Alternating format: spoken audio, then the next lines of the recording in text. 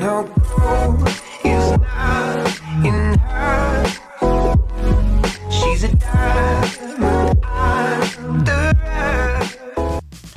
Oke guys, jadi buat kalian itu yang mau ekspor preset di Motion itu tapi lamanya minta ampun hingga menitan lama ya guys misalnya.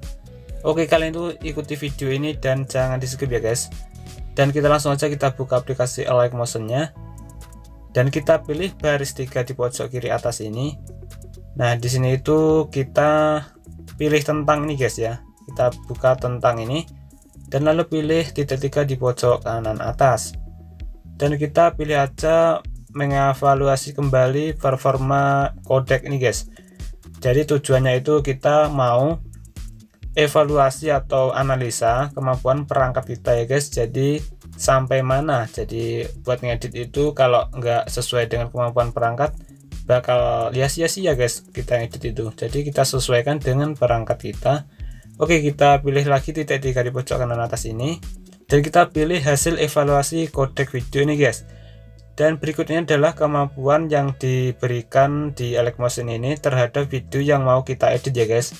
Jadi layar itu lapisan jadi 4 layer video 720 jadi ini kemampuan video aku ya guys. Atau kemampuan untuk video di perangkat aku. Jadi setiap HP itu karena spek HP itu beda-beda ya ini hasilnya nanti akan berbeda-beda ya guys. Oke dan selanjutnya di bagian ini itu kalian aktifkan juga ya guys pratinja kualitas rendah. Ini bawaannya Alex Motion belum diaktifkan sebelumnya guys dan sebelumnya itu aku sudah aktifkan. Oke dan sebagai contoh kita edit video ya guys dan untuk resolusi di sini itu aku sarankan di 720 aja guys atau 180 lah. Karena untuk 720 ini aja sudah standarnya video YouTube ya guys jadi sudah kualitas yang bagus. Kalian itu nggak perlu 1440 itu karena itu kegedean ya guys resolusinya. Jadi untuk ukuran HP dan pengguna internet di Indonesia ini untuk 720p ini aja sudah bagus videonya ya guys. Dan untuk YouTube pun itu sudah standar dan sebagai contoh aku mau edit sebuah video dan kita mau ekspor ya guys.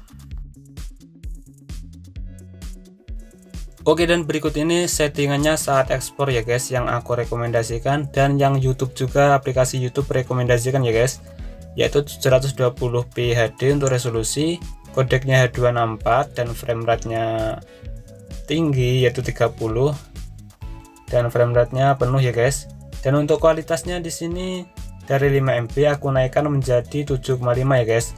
Walaupun sebenarnya 5 MP itu saja sudah bagus tetapi di sini aku mau naik naikkan aja 7,5 agar lebih bagus. Dan segitu sudah cukup ya guys. Dan kalau kalian install kalian itu nggak akan kegedean filenya. Maksudnya diekspor bukan diinstal. Oke sekian dulu videonya dan semoga ini bermanfaat informasinya. Dan jumpa lagi di video berikutnya